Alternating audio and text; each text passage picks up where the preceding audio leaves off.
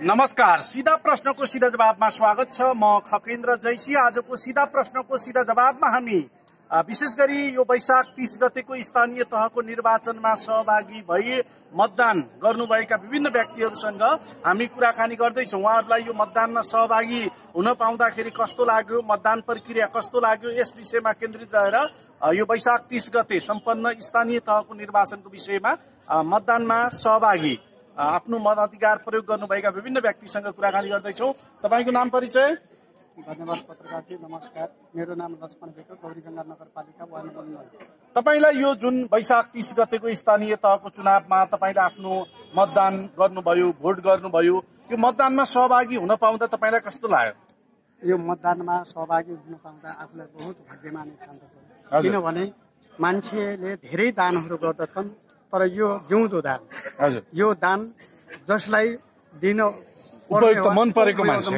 मन परेको उम्मेदवार। हो, उम्मेदवारलाई दिन पाउँदा आफूलाई बहुत खुसी लागेको छ र यो मतदान केन्द्रमा हेर्दा बहुत शान्तिपूर्ण मतदान भइरहेको र सबै आफ्नो यो शिवपाली गौरी गङ्गा नगरपालिकामा शान्तिपूर्ण मर्यादित हिसाबमा होइन मतदान भयो मतदान भइरहेको हुँदा आफूलाई पनि बहुत खुसी लागेको छ जस्तो यसभन्दा अगाडिको निर्वाचन जुन र अहिलेको निर्वाचन मतदान गरिरहँदाखेरि तपाईँले मताधिकारको प्रयोग गर्नुभयो। पहिलाको चुनाव र अहिलेको चुनावमा केही फरक छ कि छैन तपाईँको यो विचारमा? यो पहिलाको चुनाव र अहिलेको चुनावमा फरक देखिन्छ। हजुर। चुनाव त्यही हो। तैपनि पहिलाको चुनाव वैशाख यो दुई हजार चौहत्तरको चुनावमा स्वयंमा आफै उम्मेदवार थिए नेकपा एमाले पार्टीबाट। अनि त्यो वैशाखमा हुने चुनाव सर्दै सर्दै जाँदा असारमा पुगेको थियो।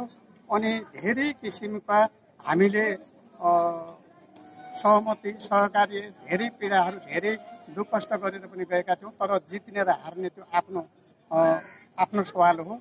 जो जिते पनि एकजना जित्ने हो भन्ने हामीले भावना लिएका थियौँ। अहिलेको छोटो समयमा छोटो समयमा सहमति गरेर गठबन्धनको अहिले त्यति बेला गठबन्धन थिएन भने अहिले गठबन्धनको सरकार पनि बनेको छ। एकतिर नेकपा एमाले पनि लडिरहेको छ।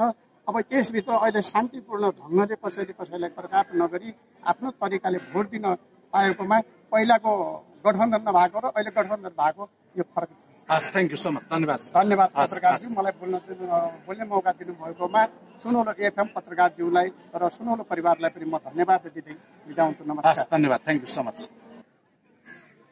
आदरणीय श्रोता अनि दर्शकहरू आजको सिधा प्रश्नको सिधा जवाबमा हामी यो वैशाख तिस गते सम्पन्न स्थानीय तहको चुनावमा केन्द्रित रहेर यो वैशाख तिस गते को स्थानीय तहको चुनावमा सहभागी विभिन्न व्यक्तिहरूसँग कुराकानी गरिरहेका छौँ। आफ्नो मताधिकारको प्रयोग गर्नुभएका आफूलाई मनपर्ने उम्मेद्वारलाई मतदान गर्नुभएका विभिन्न व्यक्तिसँग हामी कुराकानी गरिरहेका छौँ। आजको सिधा प्रश्नको सिधा जवाबमा यति बेला एकजना अर्को मतदाता हुनुहुन्छ। उहाँले आफ्नो मत व्यक्त गरिसक्नु भएको छ। तपाईँको शुभ नाम सर?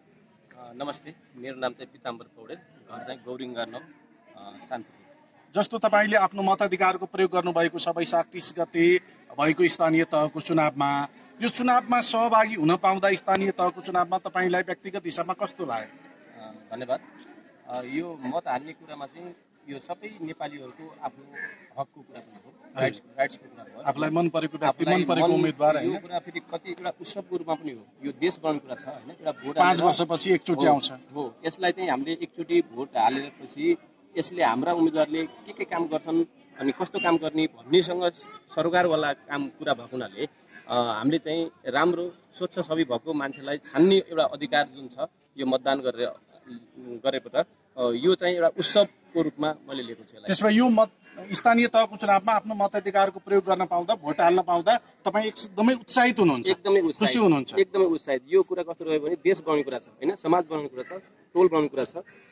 एउटा भोट हालेर एउटा डब्बामा कागज खसाल्नु मात्रै कुरा नरहेर समग्र यो देश बनाउने कुरा समाज बनाउने कुरा आफ्नो पालिका बनाउने कुरा आफ्नो वडा बनाउने कुरा भएको हुनाले पनि यसलाई चाहिँ म धेरै उत्साहित भएको छु र एउटा राम्रो उम्मेदवारलाई मैले भोट हालेको छु भन्ने कुरा लागिरहेको छ। पहिला र अहिलेको यो चुनावमा केही फरक पाउनुभयो? तपाईँ यसभन्दा अगाडिको स्थानीय तहमा पनि चुनावमा सक्रिय भएर लाग्नु भएको थियो। यो चुनावमा पनि तपाईँ सहभागी हुनुभयो र पहिलाका अन्य चुनावमा पनि तपाईँको केही अनुभव होला? र यो चुनाव र पहिलाका चुनावहरूमा तुलना गर्ने भने केही फरक पाउनुभयो कि भने यहाँले? अ, धेरै फरक पाएको छु। मैले चाहिँ अहिलेसम्म आफूले भोट हालेका कुरा गर्नु छ भने चारवटा चाहिँ यसरी नै अ, भोट चुनावमा हालिसकेँ। सहभागी भएर भोट हाल्नु। राष्ट्रिय चुनावमा यस्ता चुनावमा म सहभागी भइसकेँ। र अघिल्लो वर्षभन्दा अहिलेको अलि फरक खालको चुनाव छ। खोजेको अघिल्लो पटक चाहिँ एकदम झैझगडा हुने र होला हुने कोलाल हुने अनि अलि लफडा भने यसपटकको चुनावमा चाहिँ त्यो एकदमै कम भयो होइन? यो चाहिँ धेरै नै कम भयो। अ, शान्त- शान्तिपूर्ण र शान्त- मर्यादित हिसाबमा मर्यादित चुनाव भयो। तर अलिकति अब समस्या कहाँनिर भयो भने यो बिहानको अलि जुन हावाहुरी अ, पानीले असर। गर्यो। दिउँसो एकछिन यो हावाहुरी पानीले गर्दाखेरि अलिकति यो अस्तव्यस्त भयो। र तर समग्र हिसाबमा राम्रो रह्यो चुनाव होइन? चुनाव एकदम राम्रो भएको छ सफल भएको छ। थ्याङ्क यू सो मच हस्, धन्यवाद। धन्यवाद हस् धन्यवाद साँझ सुन्नु। छ बजेर है। आदरणीय श्रोता अनि दर्शकहरू आजको सिधा प्रश्नको सिधा जवाबमा हामी यो वैशाख तिस गते सम्पन्न स्थानीय तहको चुनावमा सहभागी भई आफ्नो मताधिकारको प्रयोग गर्नुभएका विभिन्न व्यक्तिसँग कुराकानी गर्दैछौँ। एकजना अर्को व्यक्ति हुनुहुन्छ। तपाईँको नाम? गोरबहादुर विको। कुन ठाउँ बस्नुहुन्छ? Marsuriya Shankarpur ward ward number नौमा। अब यो चुनावमा तपाईँ सहभागी हुनुभयो मत हाल्नुभयो भोट हाल्नुभयो कस्तो लाग्यो? अब राम्रो लागेको छ अहिलेसम्मलाई। हजुर। र अब जे नि जो हामीले बुझेको कुरा अनुसारले हजुर। आला भन्ने भरोसा पनि छ सबैबाट पनि अहिले यसो माहौल हेर्दामा आउँछ कि भन्ने जस्तो आशा छ। भनेपछि आफ्नो मन परेको उम्मेद्वारलाई भोट हाल्न पाउँदाखेरि एकदमै खुसी हुनुहुन्छ। खुसी छु। उत्साहित हुनुहुन्छ। खुसी छु। कतिचोटि हो यो तपाईँले तपाईँ कति वर्षको हुनुभयो? अहिले मलाई पचहत्तर वर्ष पचहत्तर वर्षको हुनुभयो होइन? हजुर। कतिचोटि हाल्नुभयो भोट? अब मैले भोट हालेको भनेको त लगभग पाँच छ त यही पालामा हालिया हो। पहिला? पहिला एक बाजी दुई हजार पन्ध्र सालमा दुई हजार पन्ध्र सालमा पनि? दुई हजार म गएका थिएँ हेर्न। हजुर। दुई हजार पन्ध्र सालमा हजुर। खराउनको गाउँमा भोट पढेको हो त्यति बेलाको रुख छाप्रो आदि हाम्रो केही चाहिँदैन धानको पाला छोड्यो भने पछि पाइँदैन भन्ने त्यो पनि अब एउटा कविता सुनेको थिएँ हजुर। भने अहिले त धेरै बाजी भयो। एक बाजी जाने अब टोटल कति भयो होला तपाईँको अनुमानित? कतिचोटि भोट गर्नुभयो तपाईँले? मेरो अनुमानबाट? पचहत्तर वर्षको उमेर लगभग हाम्रो र दस। दस चोटि भन्दा। बढी तपाईँले भोट गर्नुभयो होइन? त्यति के छ भोट दस चोटि भन्दा बढी गर्नुभयो सदुपयोग भयो कि भएन? सदुपयोग भयो नभए पनि होइन भइसक्यो हो।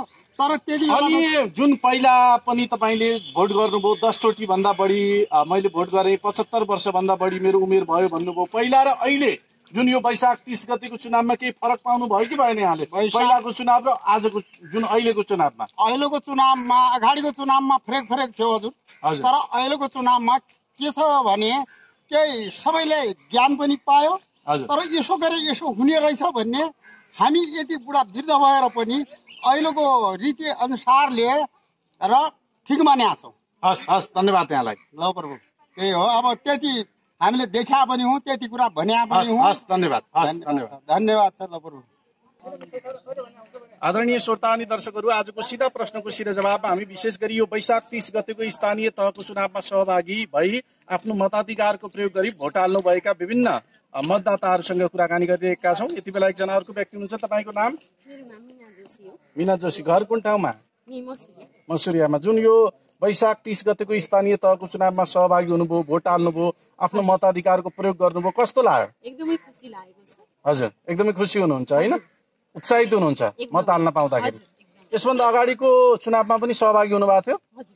पहिलाको चुनावमा पनि सहभागी हुनुभयो। पहिला र अहिलेको चुनावमा केही फरक पाउनु भयो कि भएन यहाँले?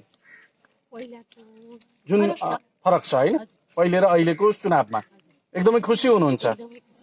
के छ? तपाईँको अब भोट हाल्नु भएको छ यो तपाईँले मताधिकारको सदुपयोग होस् भन्ने चाहना होला होइन? उम्मेद्वार अब तपाईँले मतदान गरेको उम्मेद्वारले जित्नु भयो भने के गरिदिएको भए हुन्थ्यो जस्तो लाग्छ? हजुर। हजुर। यो ठाउँको विकास गरिदिनु पर्यो।